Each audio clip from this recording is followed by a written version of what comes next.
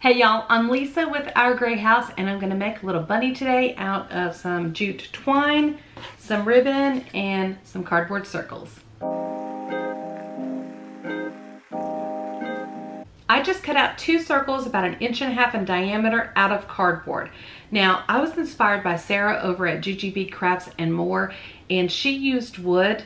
I don't have any wood circles, nor do I have any wood circles an inch and a half wide. So I am just using cardboard and we're gonna hope for the best. And what you're gonna do is gonna take the twine, starting in the center, and then just start wrapping around till you've covered the whole circle. We are being joined by Supervisor Captain for this evening's episode.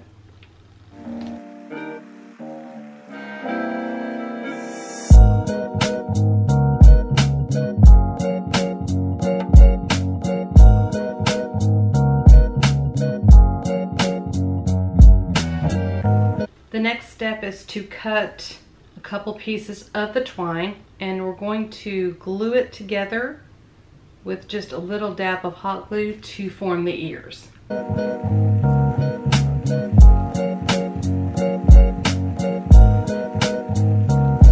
So I have the two ears and then I'm gonna glue it on top of this ribbon. I'm just using this floral ribbon. I think I got it from Dollar Tree. Yeah, I got it from Dollar Tree. So inexpensive. And then you can use any ribbon you want. I'm gonna take the bunny ear and I'm gonna glue it on top of this ribbon so that the inside of the ears has a cute background.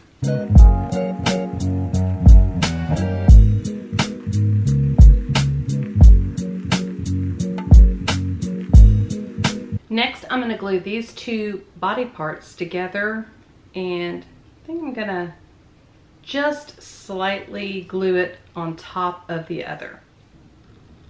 So this guy is a little wobbly and so I'm gonna glue a Jenga block or a tower tumbling block. We sell these at Dollar Tree. I'm gonna glue that to the back as well. Now I'm gonna trim around the twine.